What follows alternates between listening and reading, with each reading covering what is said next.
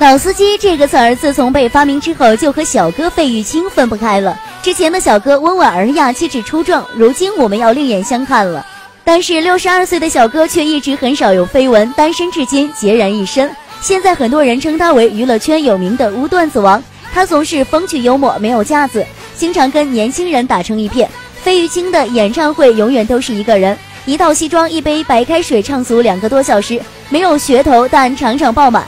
但他则非常谦逊，说话让别人非常舒服。捧在场的其他人从不标榜自己的资历与实力，他唱的情歌动人且无与伦比，演唱时投入传神。在这个新人辈出的娱乐圈里，他依然人气不减当年，仍是人们心中的人气偶像。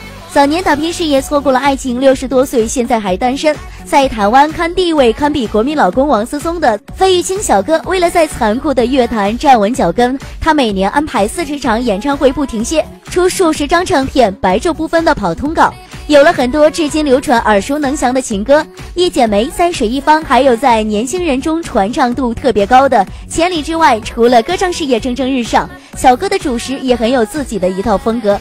和哥哥张飞搭档的综艺节目中，费玉清总能恰到好处、惟妙惟肖地加上几个黄段子，获得极高的收视率。除了演艺事业取得巨大成就外，费玉清还是一位投资理财高手。早在上世纪九十年代初期，他就开始投资房地产，而且专找黄金地段。目前他在台北最旺的敦华北路及长春路口拥有两百多平黄金店面，被誉为台湾娱乐圈的店面王。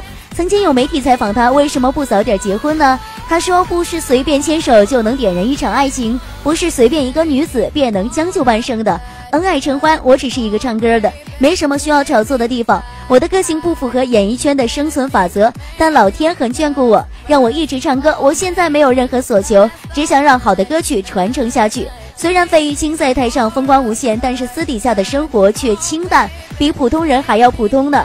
据说他不抽烟不喝酒，一根皮带也要系个十几年。”没有工作的时候呢，他每天早睡早起，保持八小时的睡眠。除此之外，他喜欢养宠物。他说，一个人生活了几十年，感觉挺好的。如果突然两个人一起生活，他会不自在、不习惯。